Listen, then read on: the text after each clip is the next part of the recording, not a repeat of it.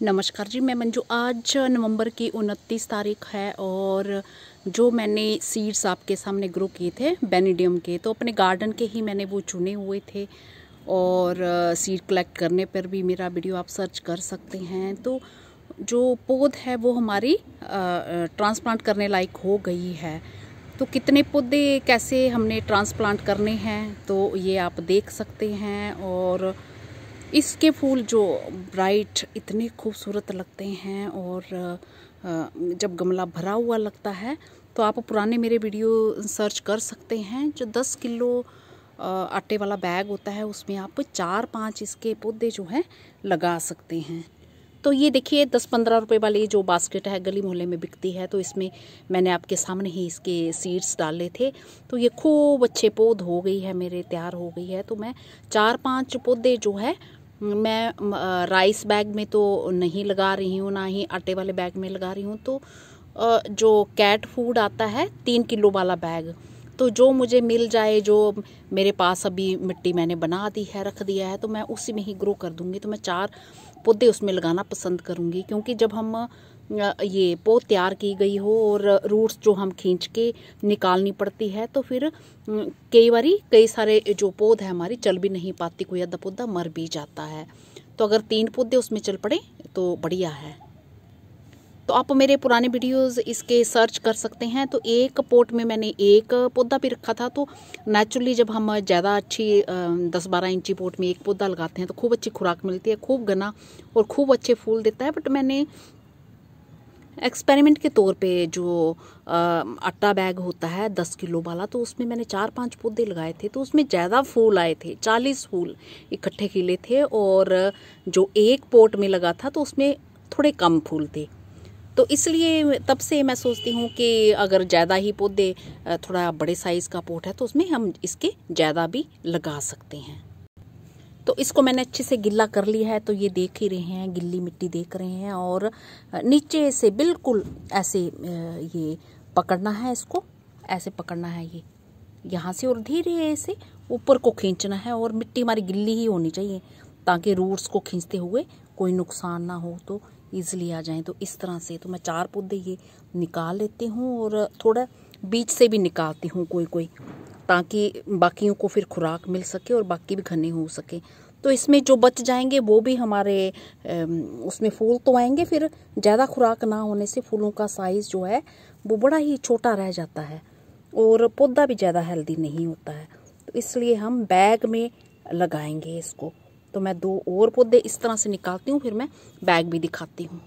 तो ये मैंने इस तरह से ये चार पौधे निकाल लिए हैं और बैग में खूब अच्छा पानी डाल दूँगी। तो ये टोम जो है, मेल कैट है जो मेरे घर में तो उसके लिए फ़ूड आता है, जो ड्राई फ़ूड आता है उसके लिए। तो ये तीन किलो वाला बैग है तो इसमें भी मैं बहुत इस्तेमाल कर लेती हूँ।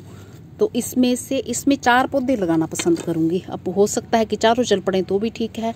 और बस ऐसे ही लगाना है, ये गड्ढा करके इस तरह से और रूट इसकी बड़ी नाजुक है। बस इस तरह से ऊपर ही हवा में करके ताकि गड्ढे तक ये पहुँच जाए और ऐसे मिट्टी दे देनी है। और छाया वाली जगह में इसको हमने रखना है। तो इसी तरह से ये बाकी भी लगाती हूँ, फिर मैं आपको दिखाती हूँ। तो ये मैंने लगा दिए हैं और मैं ऐसे उंगली से इस तरह से ये दबा दूँगी ताकि ये दूर दूरी से थोड़ी रूट भी ना इसकी टूटे और ये पौधा हमारा अच्छे से चल पड़े और थोड़ा सा पानी हम हल्का सा और दे देंगे। वैसे तो हमने खूब सारा डाल दिया और नीचे निचुड़ भी आया और इसे छाया वाली जगह में अब रखना है। तो छाया वाली जगह में रख के इस पर कोई नेट का टुकड़ा भी दे सकते हैं और शाम के टाइम जब सूरज नहीं होगा तो उठा सकते हैं। तो अभी दीवार के पास हम रख देते हैं।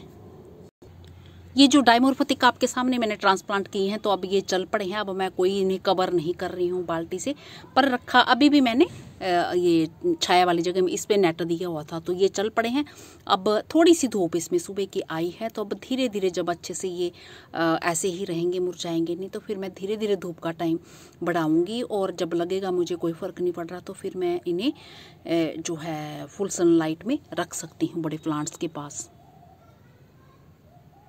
तो जैसे मैंने ये लगा दी हैं तो ये नेट का टुकड़ा भी ऐसे मैं दे सकती हूँ इस पर और शाम के टाइम याद से आपने जो है नेट का टुकड़ा वो हटा लेना है। ऐसा नहीं कि बना रहे और फिर मॉइस्चर बहुत ज़्यादा बना रहे, मिट्टी में मिट्टी गिली रहे तो रूट्स जो हैं गल जाएँ और पौधा आपका सड़ जाए। तो मिट्टी को जो है हवा मिलनी भी ज़रूरी होती है। और बहुत ज़्यादा छाया वाली जगह में नहीं रखना है, जैसे कमरे वगैरह में। हाँ सीढ़ी में जो दरवाज़ा होता है ना, छत के साथ तो उस दरवाजे के अंदर रख सकते हैं। बिना ढके रख सकते हैं और फिर शाम के टाइम बाहर निकाल दें। तो बस हमें ये ख्याल रखना है कि सीधी धूप से इसे बचाना जब ट्रांसप्लांट किया हो तो बड़ा ये शौक में चला जाता है और नाजुक जैसा पौधा होता है। अब ये लुढ़क जाएँगे। अगर तेज़ धूप पड़ेगी तो फिर ये मर जाएँगे हमारे। ये जो आप स्वीट एल्सम देख रहे हैं तो ये एक महीना, चार पाँच दिन में ये खिलना शुरू हो गया है और दो महीने में ये पूरी बास्केट भर जाएगी। ये पूरे जो है धीरे धीरे ये फ्लावर्स बनते हैं, फिर गुच्छे में आते हैं। तो इसे अभी भी आप ऐसे घने घने ग्रो कर सकते हैं। तो मैंने अभी थोड़े और ग्रो करने हैं। तो मैं एक चीज़ से बड़ी परेशान हो गई हूँ। जहाँ कहीं मिट्टी, मैं कुछ लगाती हूँ, पानी डालती हूँ तो पिटूनिया के ढेर सारे पौधे जो है, अपने आप ही निकल आते हैं। जैसे ये टब मैंने खाली किया था, भरा था कि इसमें कुछ लगाऊँगी तो छोटा सा गमला एक मैंने इधर रख दिया था कि टोम शरारत ना करे पानी दियो, जहाँ जहाँ पानी पड़ा, ढेर सारी ये पिटूनिया निकला है। हर गमले में ऐसे हो रहा है।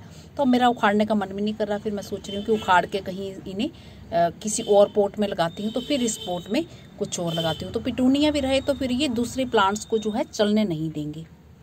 और ये जो मैंने ट्रे में स्वीट एल्सम ग्रो करना आपको सिखाया था तो ये देखिए कितने अच्छे हो गए हैं। और इसलिए मैं चाह रही हूँ कि और कुछ ट्रे या कुछ पोर्ट्स अभी बनाऊँगी। आज तो मैं बिज़ी हूँ, देखती हूँ दो चार दिन में।